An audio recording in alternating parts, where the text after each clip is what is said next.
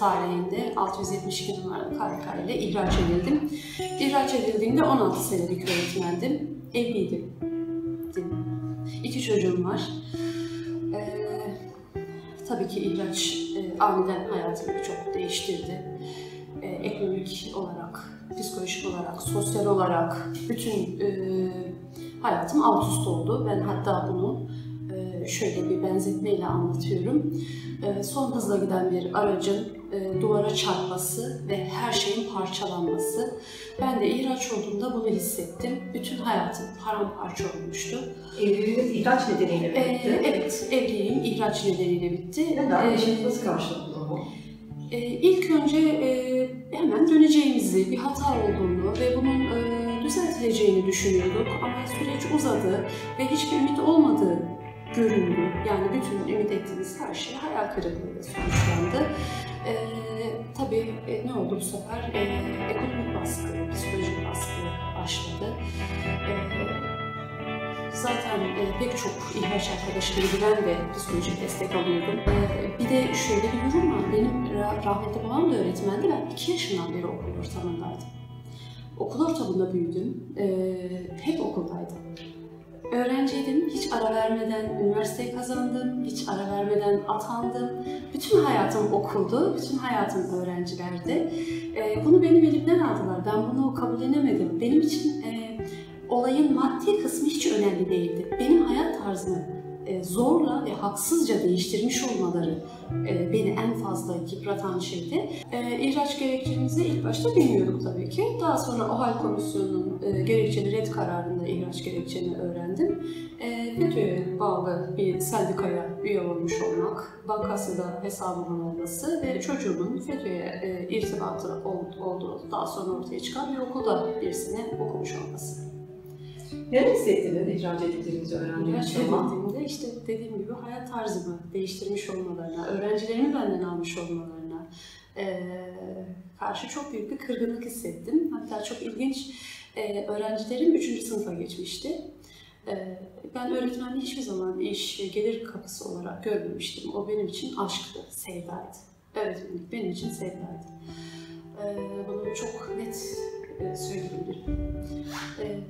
Öğrencilerimi mezun edemeyecek olma düşüncesi değil, o dönem kale veremeyecek olma düşüncesini bile kabullenemedim. Ee, dönem geçti, birinci dönem bitti. Dedim ki sene sonuna kesin yetişirim. Sene sonuna da e, yetişemeyeceğimi anlayınca dedim herhalde ben bunları mezun da edemeyeceğim.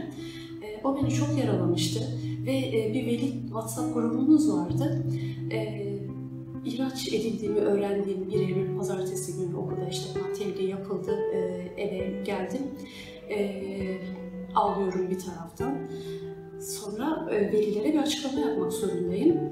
Ee, WhatsApp grubuna yazdım. Kesinlikle öğrencilerime söylemeyin çünkü ben onları e, milli ve manevi değerler doğrultusunda yetiştirdim. İki sene boyunca. Ee, çocuklarım bunu e, herhangi bir mantığa oturtamayacaklar. Ee, ve benim onlara öğrettiğim değerlere karşı güvenleri düşecek. Öğretmeninizin tarzı çıkmış değil. Bir gerekçe bulun Ee, ama onlara devlet tarafından ihraç edildiğini söylemeyin. Ee, gerçekten de velilerim uyguladılar. Benim öğrencilerim hala Ee, önceki mezun ettiklerim e, onlar e, biliyor daha büyük oldukları için.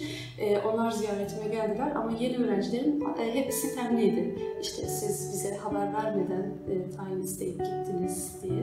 Ben o sistemleri kabul ettim. Tabii bu 2-3 sene önceki psikolojim. Şu anda e, bu duyguları taşımıyorum. Meslektaşlarınızın yaklaşımı nasıl oldu size ihracınızdan Ee, sonra? Okulumda e, sevilen bir öğretmendim. E, sevilen bir arkadaştım. Ben de onları çok seviyordum. E, ben meslektaşlarımdan herhangi bir e, genel anlamda olumsuz bir tepki görmedim. E, yine görüşmek istediler. İşte okula sık sık gel, her gün gel e, diye söylediler. E, ben okula hiç gidemedim. E, çocuğumun veli toplantısı nedeniyle aynı okulda öğrenciydi çocuğum. Gittiğimde de kendimi çok kötü hissettim.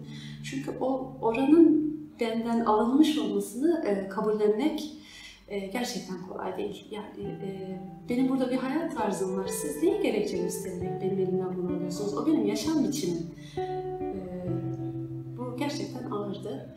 E, arkadaşlarım çok ısrarcı oldular ama daha sonra e, ben onlara şöyle bir açıklama yaptım.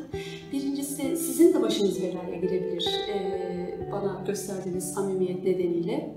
E, ikincisi de e, bu benim psikolojime iyi gelmiyor. Ben e, buraya geldiğimde e, sizin e, bana verdiğiniz destekten çok kaybettiğim şeyleri görüyorum. E, sizin moral ve motivasyonunuzu düşürmek istemiyorum çünkü sizin hayatınız devam ediyor. Siz yine o öğrencilerin karşısına çıkacaksınız.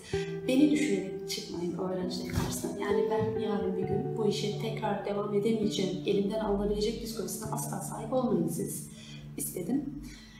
E, o yüzden arkadaşlarımla iletişimimi ben kestim pek çok kişinin aksine. E, Sonra zaman zaman görüştük ama tabii ki e, ilk zamanlardaki e, o sürekli görüşme durumu olmadı. Onların da bol bol sitemlerini e, aldım. Kaç çocuğunuz var? İki çocuk. Çocuklarınız biliyor mu? Evet, evet çocuklarım biliyor. Ee, ikisi de e, şunu söyledi. Biz okulda ne yapalım? Yani biz senin terörist olmadığını biliyoruz anne. Ee, oğlum lisede, e, şu anda lise sonunda dönem e, süreç başladığında lise 1'deydi. Ee, kızım da dördüncü sınıftaydı. Ee, şu anda yedinci sınıfta. Ee, kızımın saklamak gibi bir şansı yoktu. Sınıfından birkaç arkadaşı da senin annenin aslında atıldığını biliyoruz falan gibi şeyler söylemiş. İşte ağlayarak geldi birkaç defa evine, eve. Ee, ben öğretmenini arayıp öğretmeniyle iletişime geçtiğimde e, öğretmeni bu konuya işte eğileceğini söyledi. Çünkü hepsi arkadaşım zaten beni tanıyan insanlar.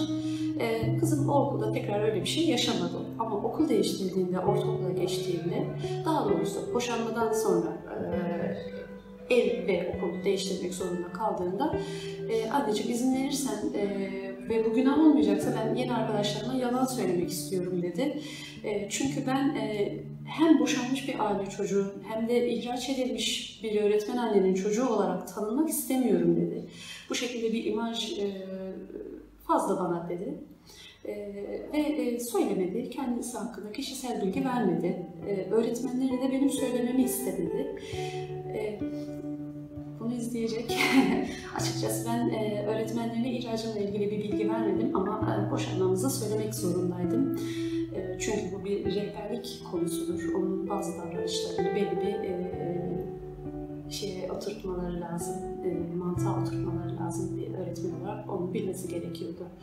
E, oğlum da okulunda söylemedi çünkü e, her gün neredeyse ilk günlerde ağlayarak geliyordu. Anneciğim işte okulumuza e, 15 Temmuz'da ilgili program yapılıyor ve işte işten atıl, attık biz o teröristleri, vatan hainleri diye anlatıyorlar. Ben e, orada bahsedilen e, 250 kişinin katili, e, darbe yapan, vatanın, milletin bütünlüğüne kasteden insanlardan birisinin de e, annemmiş gibi algılanmasının çok rahatsızım e, diye her gün ağlayarak gelmesi çok şeylerdi. Bir anne için çok ağır şeylerdi. Yani kendimizi düşünmekten bir adım ötede e, çocuklarımızın geleceğini, çocuklarımızın o anda yaşadıkları bunu gerçekten çok zor bir süreçti.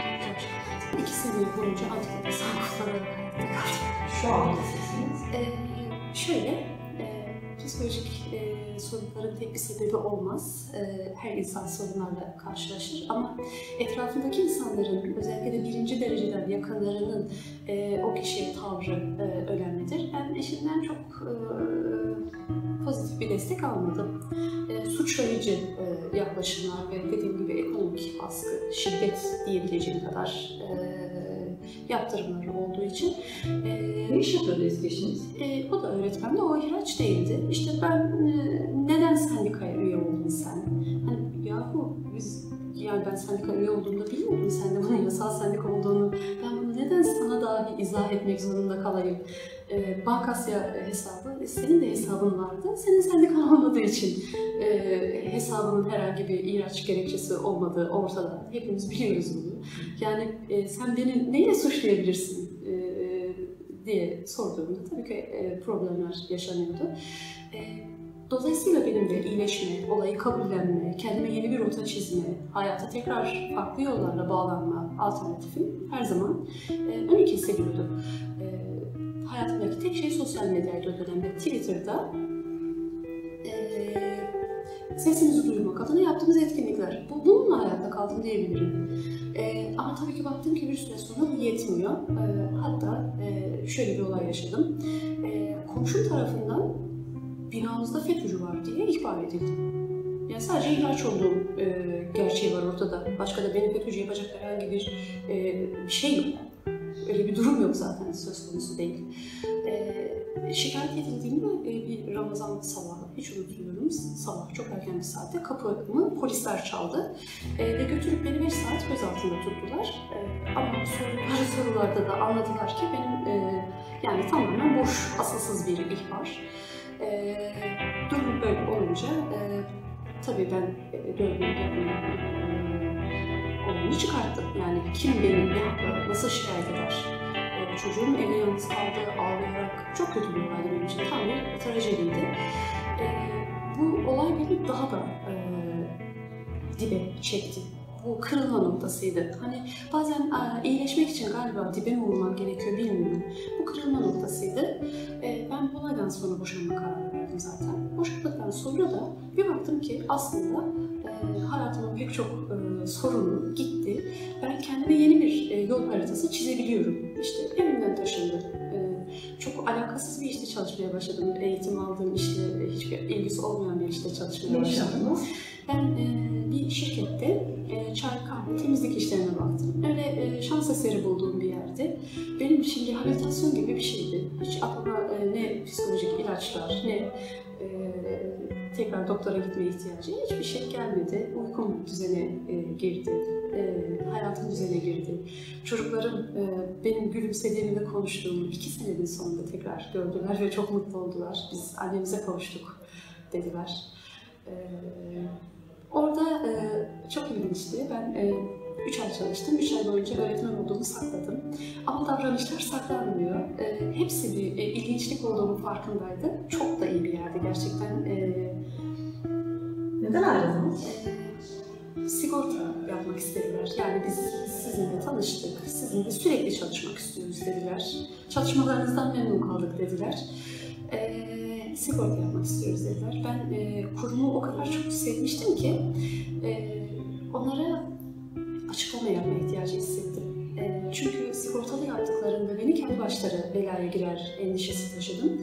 Gerçekten de e, öyleymiş. Devlet ihalelerine giren bir e, şirketmiş ve her ihaleye girdiklerinde e, çaycılarından genel müdürlerine kadar hepsinin tüm kimlik bilgileri e, gidermiş ve e, en ufak bir pürüzlük bulduklarında da o ihaleyi kaybederlermiş. E, sizi işten atmak zorundayız e, açıklamasını bana 3 saatlik bir izahın sonrasında yaptılar. Ama sonuçta beni işten attılar. Şu an çalışıyorsunuz. Ee, şu anda çalışmıyorum. Ben o işten hemen sonra bir benzinlikte çalışmaya başladım. Evet, neredeyse 40 yaşına yaklaşmış, 16 yıl öğretmenlik yapmış birisi olarak Ne iş yaptınız Bezgi? benzinlikte market satış elemanı yaptım. Ben e, kasanın öbür tarafına ilk defa geçtim. Yani hep kredi kartı kullanan kişi olan e, ben kredi kartından işlem yapan e, kişi oldum. Bunu e, iki hafta içinde bir süre, e, iki hafta süre içerisinde öğrendim. E, ama tabii şartlar çok zor. Benzinliklerde genellikle şöyle bir şey var, var diyor e, sistemi. E, bazen gece 12'de biterdi işim ve 12'de eve gelirdim. E, evde çocuklar olunca 12'de bir annenin için rahat etmesi mümkün değil. E, ama kiramı da ödemek zorundayım. Başka hiçbir yerden gelirim yok. E, ailem destek veriyor ama ailemin de ekonomik gücü kısıtlı ve ben yaşıma hep destek olma pozisyonunda olmuşum. Onlardan destek alma psikolojisini kabullenemiyorum. Ve sonuçta verdiğim bir karar var ve bu kararı ben tek başıma üstesinden geliyorum. Sonuçlarla katlanabiliyorum demek istiyorum. E, muhatap olduğum kitleye, topluma. E, ama tabii bu kolay değil. 3 ay sonra artık buna dayanamayacağımı fark ettim. E, çocuklarımın gece 12'ye kadar evde e, yalnız kalması ya da benim sabah 6'da evden çıkmam ve onların kahvaltılarını kendi başlarına yapıp giyinip okula gidiyor olmaları beni rahatsız etti. Oradan çıktıktan sonra bir lokmacıda çalıştım. Yani birbirinden çok farklı işler. Bayağı iş değiştirdiniz. Ee, lokmacıda da çok e, ağır şartlardı. Yani işte e, hem hamur, krema hazırlama işleri, hem kasa, hem kafeterya kısmı müşteriyle ilgilenme. E, oraya da bilmem kaldırmadı. Ee, Sonra bir medikal e, firmasında çalışmaya başladım. Ee, Orada da aslında tıbbi bilgi gerektiren, bayağı mesleki bilgi gerektiren e, bir iş. Ee, Onu da 2-3 hafta gibi kısa bir süre içerisinde öğrendim. Ama 14 saat ayaktaydım. Günün 14 saati. Okul tekrar başlayınca ben o açıdan çıkmayı tercih ettim. Şu anda işsizim. Ee, Ama işte çocuklar aslında sonuçta bir e, değil, çocuklar için almaya başladım. Biraz beni rahatlattı. O yüzden e, şu anda sadece part-time iş bakıyorum. Ee, Şöyle zaten ondan e, fazla bir beklentimiz yok. Sadece bir baba figürü olsun hayatımızda e, yeterli. Çocukları sevdiğini hissettirsin. Yeterli bizim için. E, iki haftada bir mahkeme kararıyla zaten e, görüşüyorlar. E, ben açıkçası fazla bir beklentim yok. Çocuklar da memnun şu andaki hallerinden. Çünkü geçinmediğimizi biliyorlardı zaten şu anda. O kendi yerinde mutlu, ben kendi yerimde mutluyum. Bir problem yok. Hiçbir haksızlık sonsuza kadar sürmez. E, mutlaka hak yerini bulur. Bu kısa vadede olmayacak. Bunu anladık. E, eninde sonunda haklarımı alacağımdan eminim. E, ama o zamana kadar hayatta sağlıklı, hem ruh sağlığı hem de beden sağlığı yönünden o zamana kadar hayatta kalmak benim şu andaki amacım.